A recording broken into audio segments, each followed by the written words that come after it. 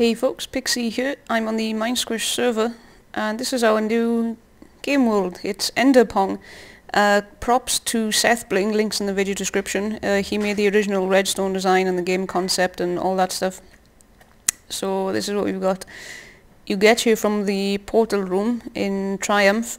The lower floor of the portal room, it's a portal that's cunningly labelled to Enderpong. And you land here you have the portal back behind you and there's a rules board here and I'm just going to explain to you how to play that. There's two teams and it's two versus two. There's a, a match on currently. Just down here there's a reset button. So the red team runs to the green team floor over there and the green team runs to the red team floor over there. So the, the red team would run across here, stand on these pressure plates and that opens the floor for you to jump down. Standing on the pressure plates dispenses an ender pearl here. And then you use that to throw it to the cup. So this is what you do. This is somebody from red team. Used an ender pearl, threw it across here, landed on top of the cup, fell in, hit the pressure plate, the cup collapsed. He came over here, stood on a pressure plate, and that spawned a, an ender pearl to pop out from up on top from dispensers there and it opened the passageway for him to fall in and that teleported him back up to the top of the red team base. And you can see over here he missed. And actually went off the edge. But uh, that's generally how it works. You throw your pearl you drop in you collapse the cup and then you run down here.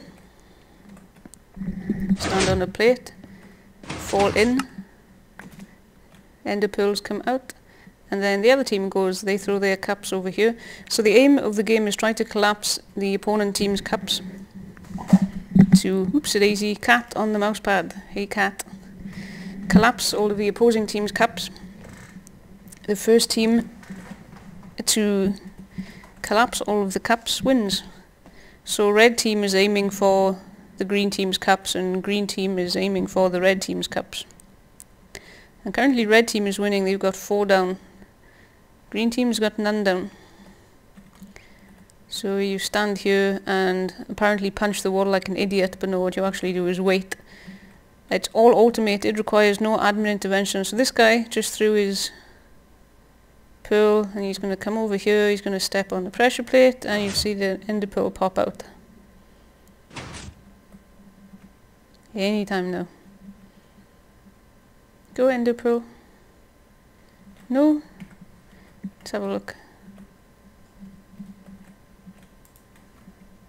There's pools in there.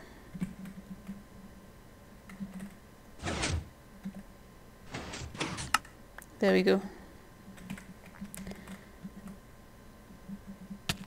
So then the other team goes. It's all automated, so you have to play it in order. One team member throws, lands, runs onto the plates, falls in, then that dispenses the ender pearl and the next team goes, throws, lands, blah blah. And when one team wins, the colour scoreboard, the glowy scoreboards up there light up. So that's Enderpong. And I will just show you where the portal is.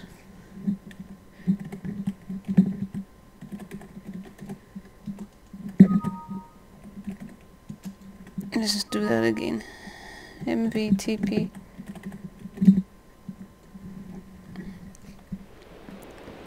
Triumph down the hall. Down to the lower portal room.